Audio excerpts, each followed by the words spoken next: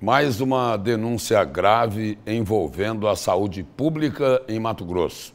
Uma reportagem do site Intercept Brasil, do jornalista Pablo Rodrigo, revela que donos de hospitais defendiam o fim do lockdown para ganhar dinheiro com a ocupação de UTIs na época da pandemia. O que foi apurado chegou a provocar a indignação dos investigadores da Polícia Civil, que descreveram a prática como repugnante.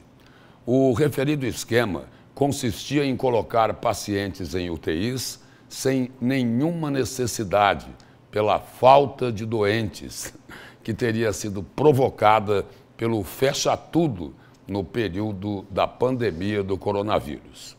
As mensagens fazem parte de um inquérito sigiloso na segunda fase da Operação Espelho.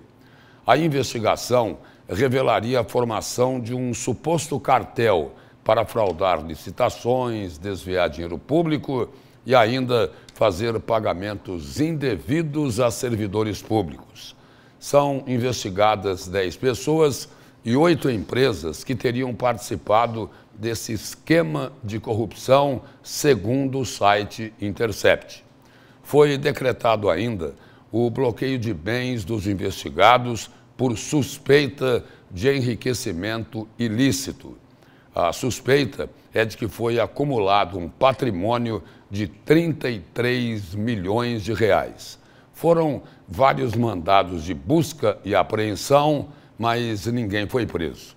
A denúncia aponta a aquisição de fazendas avaliadas em mais de 20 milhões, além de carros importados como BMW, Mercedes-Benz e, olha só, até um Porsche Cayman.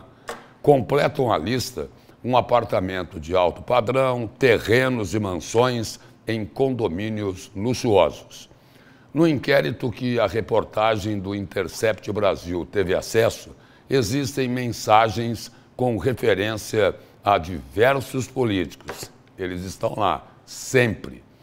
É mais uma denúncia grave envolvendo a suspeita de desvio de dinheiro público.